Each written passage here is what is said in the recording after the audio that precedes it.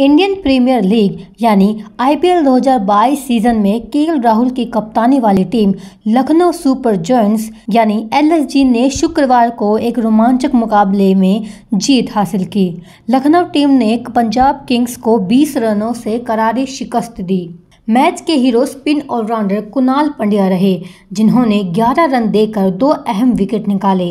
इन सब के बीच कैमरे में एक ऐसा फ़ैन भी कैद हुआ, जो पोस्टर लिए बैठा हुआ था। उस पर लिखा था कि वह के राहुल और आथिया शेट्टी की शादी का इंतज़ार कर रहा है। इस पोस्टर के ज़रिए उस फ़ैन ने पूछा कि हम 2022 में किसके होने का इंतज़ार कर रहे हैं, यह शादी होगी ना? इस क्रिकेट फ़ैन ने अपने पोस्टर में के राहुल के साथ आतिया शेट्टी की कई स्टाइलिश फ़ोटो भी लगाए हुए थे। दरअसल हाल ही में एक रिपोर्ट सामने आई थी, जिसमें कहा गया था कि सुनील शेट्टी की बेटी आथिया शेट्टी और के राहुल जल्द ही एक दूसरे संग शादी रचाकर अपने प्यार की एक नई दास्ता लिखने के लिए बिल्कुल तैयार हैं।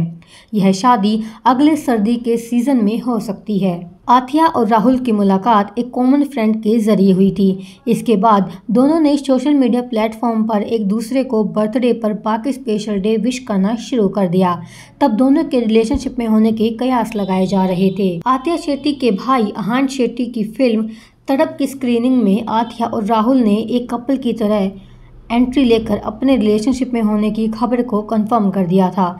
अब मीडिया रिपोर्ट्स आ रही है कि दोनों की शादियों की तैयारियाँ भी शुरू हो गई हैं। के राहुल ने 18 अप्रैल को अपना बर्थडे सेलिब्रेट किया।